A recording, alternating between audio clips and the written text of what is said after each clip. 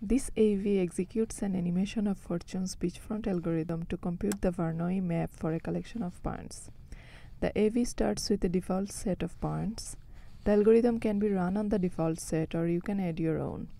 Simply clear the screen by clicking on clear, then click on the screen to place new points.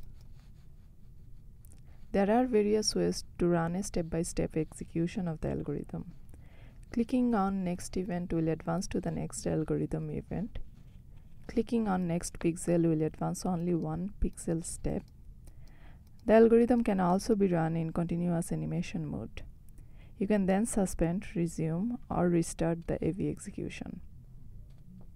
We are now going to clear the screen and enter some new points. We choose what features we want to display during algorithm execution. We can see intersection calculations in the form of circles or beach lines or both. We also have a choice to see the lines for the Voronoi diagram, the Delaunay triangulation or both.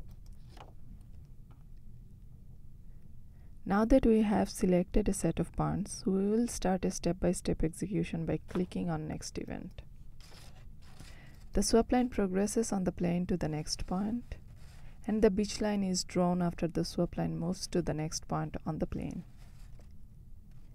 A circle is drawn as soon as we have explored enough points to draw a circle. The Voronoi diagram is built up as the swap line passes by. This is shown by the blue lines.